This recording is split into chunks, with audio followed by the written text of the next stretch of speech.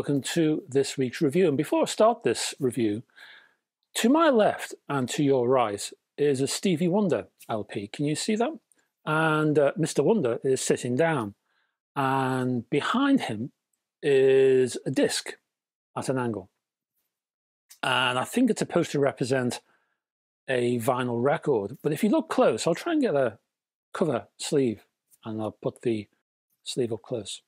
If you look close, it looks exactly like the Platimat from an Audio Technica LP5X. I, for one, want to know how close the links are between Stevie Wonder and the technical team at Audio Technica. I think we should be told. But back to this review, and we're going to be looking at a phono amp, and this particular phono amp was born and bred and built in the UK, in England, and it was created by one man, Mr. Graham Fowler. Graham Fowler is a much respected hi-fi designer. Now this particular product, eh, well, it's not exactly new. In fact, it's pretty old. so why am I talking about this now? Well, for two reasons really. Firstly, just because a product has been out for a while doesn't mean that everyone knows about it. Often products are reviewed in particular magazines that certain people don't read. Lots of people on the internet don't read magazines at all or haven't read a hi-fi magazine in their life. So they may have missed all of the reviews of this particular phono amp. Second reason, well, the second reason I'll probably talk about at the end of this video. So remind me when I get there, will you? There is a third reason why I'd like to talk about this phono amplifier, which is called the Dino, by the way.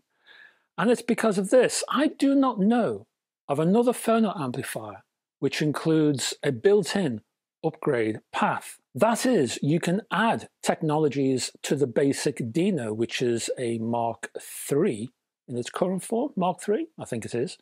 So after you've initially purchased a Dino, you can add boxes to it and cables to enhance the performance of the basic unit. Yes, I'm fully aware that you can buy phono amplifiers and then you can add, in some cases anyway, an external power supply to give you that two box look. And sure, that is an upgrade, but Trichord takes the Dino much further than that. And that's what I'm really talking about. And obviously, I'll talk about that in this video. Now, before we go any further, let's talk prices, shall we? The Dino Mark III phono amplifier, which comes with a built-in small power supply, which is external, incidentally, that's priced at £549. You can then upgrade the basic Dino by adding an external power supply. This is called the Dino Plus. It costs £360. And basically, the Dino Plus is connected by an external cable to the Dino Mark III the Dino Plus power supply itself is powered by its own IEC power cable. You can also get an upgrade cable. This is called a high performance lead, and it basically connects the Dino with the Dino Plus, and that costs £159. Finally, you can take away the Dino Plus, which is based on a toroidal transformer, and you can replace that with a what's called never connected power supply. This never connected power supply is priced at £597. So basically you can start by buying a Dino Mark III phono amplifier, then you can steadily upgrade, ending up with a system priced around £1,300-ish. So let me talk about the boss, shall we? Graham Fowler, who is the boss of Trichord, well, he's two things, I would say.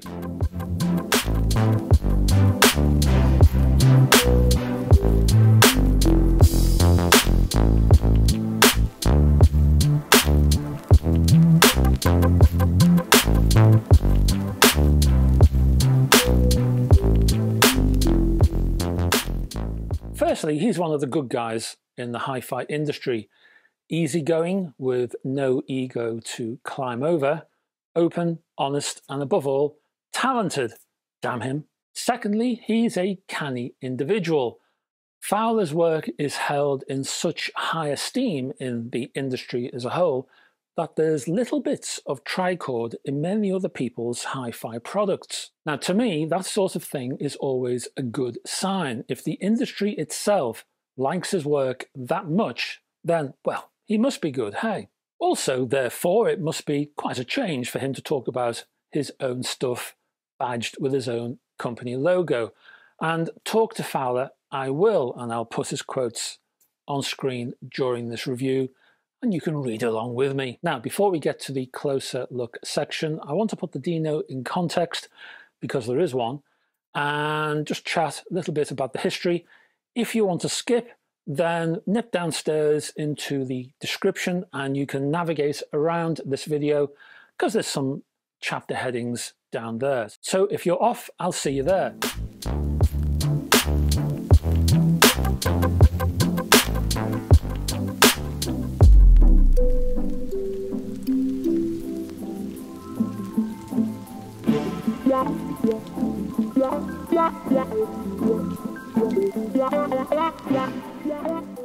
For everyone else, well, the Dino was first developed many years ago while Fowler was working with the late and great John Michell of Michell Turntables fame. At that time, Fowler was producing a range of electronics for Michell, and he still does. Michell is one of those companies he actually provides parts for, including an amplifier that one or two people might remember called the Alecto, and also another phono amplifier called the Delphini. Fowler said, like all the stuff I did for John, I created the electronics and he created the chassis.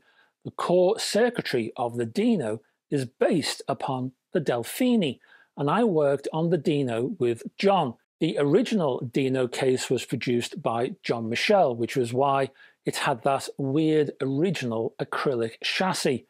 That case was a Michell thing. The Dino was never sold under the Michell banner though. So that Michell orientated Delphini and the Dino, well, they're cousins. In fact, the Dino is a smaller version of the same thing. Smaller board, smaller box and virtually the same philosophy in terms of circuit design. That is, it uses high performance voltage regulators, two active gain stages, and passive equalization. From those early days, the Dino has undergone much circuit refinement. We use microphone amps at the front ends of the phono stage. Everyone we talked to said that you needed a different input circuit for a moving coil and the moving magnet cartridge because of the varying noise sensitivities. We got around that by using a mic amp. We can get just about any cartridge using this method and the output is fine. That mic amp goes to a fully passive equalization stage using Mundorf capacitors. So basically that's the context of the Dino's design and as we're about to go techie, I think we need to take a closer look. And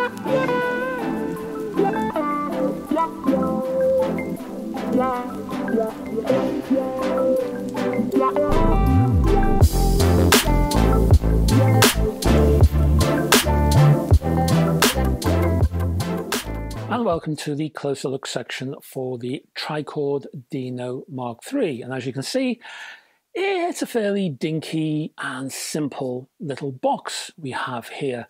Controls and sockets are kept to a bare minimum. On front of the compact, well-built aluminium chassis is a simple power light. On the rear, and let's flick to the rear because there's nothing else to talk about on the front, is a power connector plus upgraded phono sockets. Underneath, and we don't often go underneath in the closer look section, you will find dip switches, which are used for cartridge gain loading. And while we're here, let's look at the upgrades, shall we? The first upgrade is the Dino Plus, and all you need to do is to remove the standard power supply and plug in the Dino Plus. The Dino Plus features a switch on the front with a connector to the Dino Mark III on the rear. There's a one meter lead that runs in between. The reason being that both boxes should be kept apart to prevent noise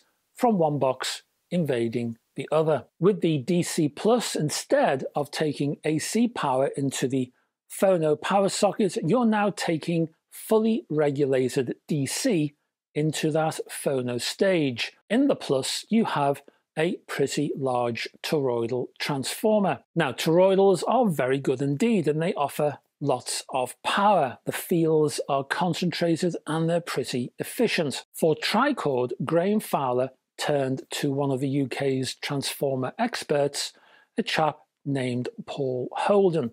And Paul Holden's work, again, is all over this industry, but he makes all of the transformers for trichord. The size of the Dino Plus's power supply is actually, well, massively overrated for what it does.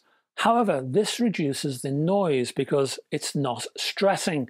It's properly designed and made for the job. It's not an off-the-shelf model. It's actually made from the ground up for trichord. The next upgrade is the standard lead, which you can see connecting the Dino Mark III and the Dino Plus. The standard lead uses four strands of copper. The high performance lead includes four twisted pairs of wires that are cross coupled, and that's done to reduce common mode noise. Again, that should improve sound quality. You'll find copper inside this particular cable.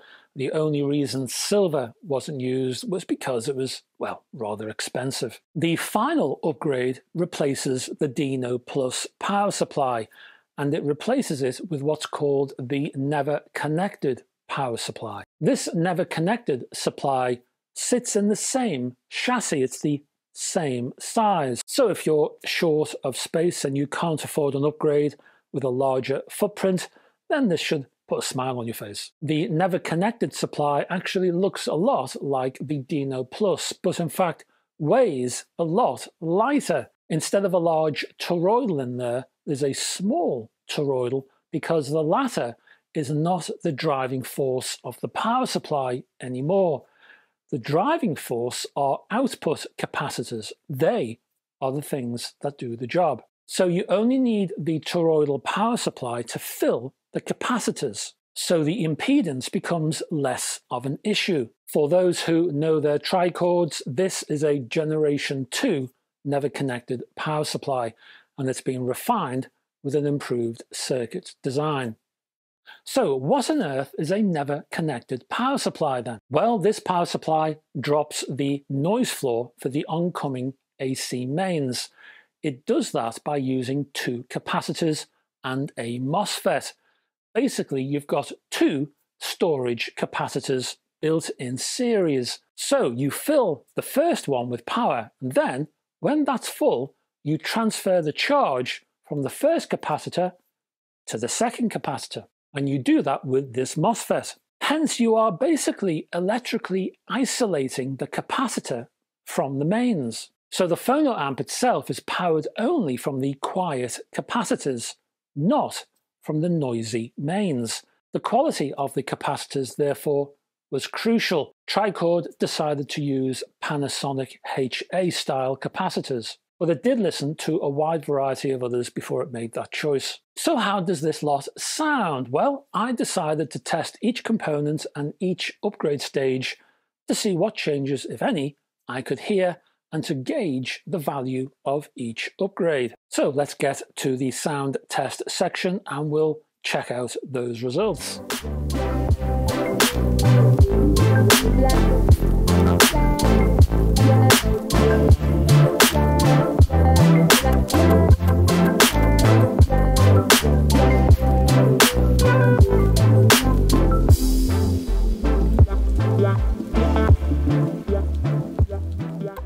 Welcome to the sound quality tests for the Trichord Dino Mark III and family, I suppose. And I'll tell you straight away, the basic Dino Mark III offered a good overall sonic performance right from the off. There was a solid level of quality present, but it was noticeable just how good the mid-range was for the price. This, for me, is one of the stars of the show for the basic unit. I initially played an old 70s album by Ananda Shankar. I think it was Ravi Shankar's son, Ananda Shankar. And he played a cover of the Rolling Stones' Jumping Jack Flash. This is a self titled album of Shankar's. This, as you might expect, was a sitar heavy track, and there was some contemporary backing. He also included a Moog synthesizer in there. I know some people call it Moog. I just happen to like Moog.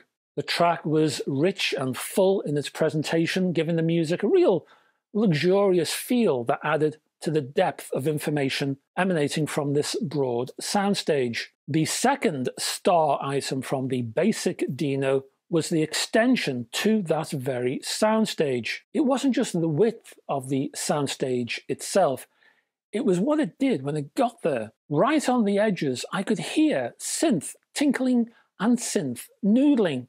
For the price, this is fairly rare and a feature that elevates the Dino above much of the competition, moving from the sitar to the more familiar tones of David Bowie's Sound and Vision and the 1977 album Low, bass on this album was pretty tight and punchy without any obvious blaring effects leaking into the mid-range. Here again, the Dino benefited from the expanded sound stage. The Dino created a large room for the performers to play within.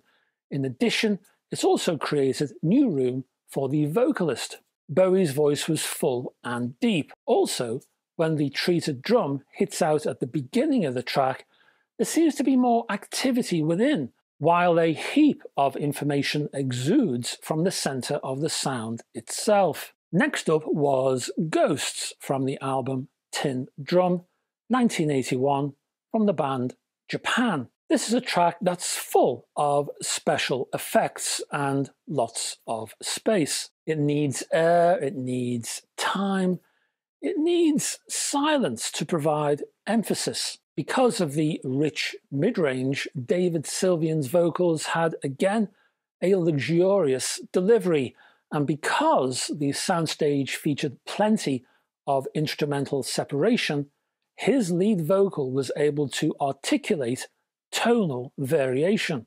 So far, so good, but it was time to upgrade. So I dropped the default power supply and I added the Dino Plus featuring its UK made power supply in its own chassis, and I carried on with Ghosts. Now, as soon as the bass kicked in, well, I couldn't restrain a rather small but effective wow. There was so much maturity in those lower frequencies now.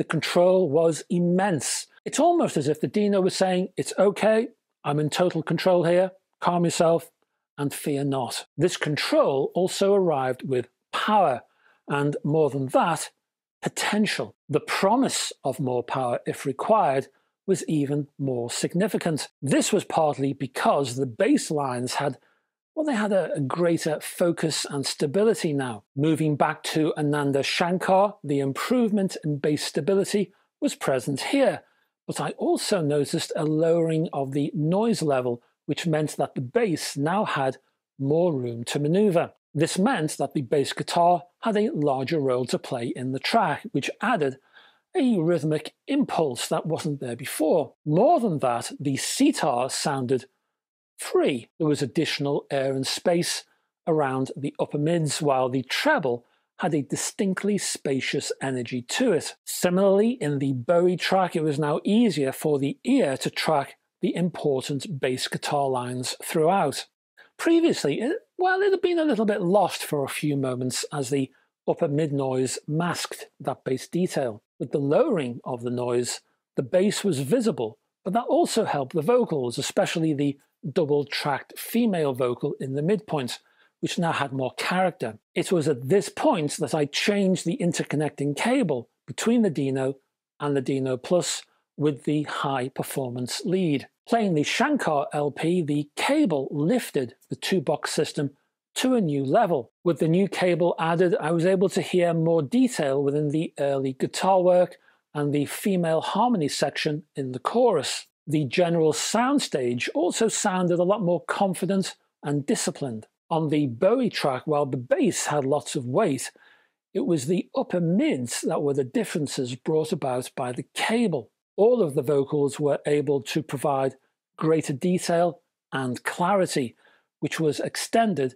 to the almost choral nature of the Bowie double track, which now had a more rhythmic vibrato effect on the tail end of his vocal sequence. Finally, I added the never connected power supply and I flicked back to Ananda Shankar. And again, the noise floor dropped. But there was more to it than that. It was almost like the sound stage was restructured. So the effect for the first time was an almost ensemble piece instead of the sitar just being front and center and dominating the entire thing. Before the never connected supply was connected, the sitar sounded as almost as if it was 20 paces ahead of the rest of the band. Now, after the upgrade, the sitar blended more into the mix, so it was part of the band. All of that meant that there was a greater richness coming from the music now. Same could be said of the Bowie track. There was a new complexity to the Bowie vocal,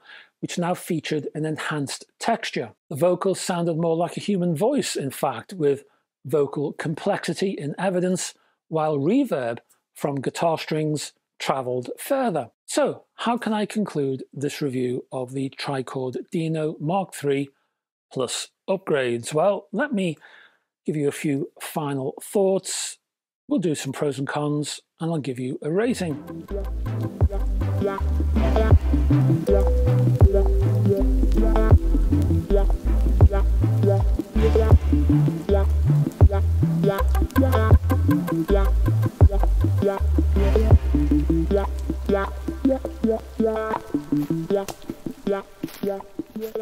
It has to be said that just buying a Dino Mark III is recommended as a top quality purchase all in its own right. In fact, such is the quality of the unit, many vinyl fans will buy it and never find the need to upgrade from there. It could very well be the end of the upgrade line for many users. That said, you would be missing out on some mightily improved sounds from the other associated components if you did decide to leave it there. With each upgrade, the Dino showed just how much extra capacity it really has. So if you decide to walk the full upgrade path, then I'm sure you won't be disappointed. One extra tip if you do decide to purchase a Dino Plus or a never connected power supply at some point, I would advise making an extra investment in a top quality mains cable. Don't just make do with the black kettle lead that is supplied in the box. Upgrade to something with a bit more quality. Now, before we get to the pros and cons, at the beginning of this video, I said it might be a good time to buy the Dino now. Reason being, well, last time I talked to Graham, which was a little while ago now, he was going to retire. In fact, he should have retired right now. Problem is, the hi fi industry wouldn't let him. They needed him to produce stuff for them. And so Graham graciously said, okay then. So he put his retirement plans on hold. For how long, though, I don't know. And when our Graham does decide to hang up the closed sign, I don't know what will happen to the Dino. Now, maybe Graham has contingency plans in place and the Dino will be continue to be sold for a long time to come. However, I don't know. And I would advise you, if you're thinking about buying a Dino, do it soon. Now, what I'm saying is not an official line. I haven't discussed this opinion with Trichord. It's my own gut feeling. Just to make absolutely sure, if you're intrigued by the Dino, I would make a move on it sooner rather than later. Pros and cons. First up in the good section is the low noise, which increases every time you upgrade, every time you progress down the upgrade path. Secondly, the build quality. These are solid products, solid boxes, and it feels like they're going to last a long time. Next up, the upgrades themselves. Well, they're easy to do. It's just a case of unplugging and plugging in cables, basically. Value for money, I also thought that was a highlight, especially for the sound quality that you're getting. And also, when you're upgrading, you do that when you're able to, when you're financially capable of doing that. Finally, the overall sound quality as a whole, which constantly and steadily improves. But the basic Dino Mark III does start at a high point, and in the bad section, absolutely nothing at all. What does that mean for the ratings? Well, for each and every one of the upgrades, I'm going to give each of those a groovy award winning rating of 8 out of 10.